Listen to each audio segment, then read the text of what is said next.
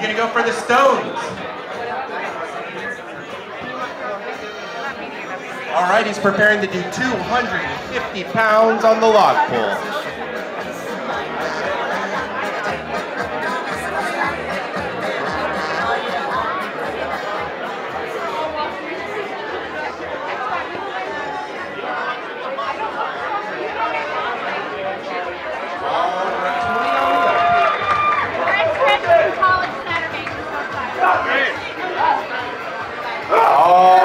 All